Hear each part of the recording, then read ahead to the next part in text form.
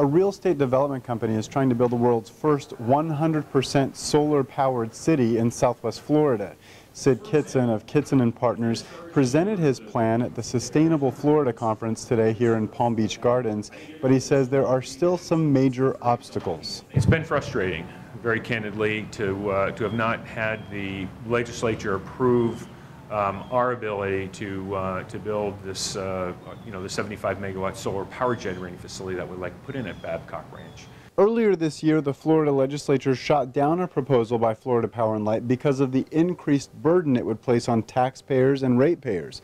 Kitson argues that cost would be minimal, but critics say even if they got the generator, it still couldn't produce enough energy to power a city covering four times the area of Manhattan. I just don't see how 75 megawatt can produce enough power, even at peak uh, capacity, for that amount of, uh, of meters out there. Roger Lewis works for Lakeland Electric and draws his skepticism from what they've been able to do with a solar power generator about one third the size. The claim uh, of being 100% energy uh, independent uh, simply uh, is not feasible uh, given the, the present technology concerning storage of electric energy. That's the very thesis that we're trying to put forward here at Babcock Ranch. Let's find those technologies.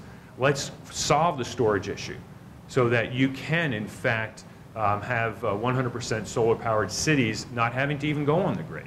While certain key components of Babcock Ranch, like the solar power generator, are still not approved, Kitson says they hope to begin construction late next year.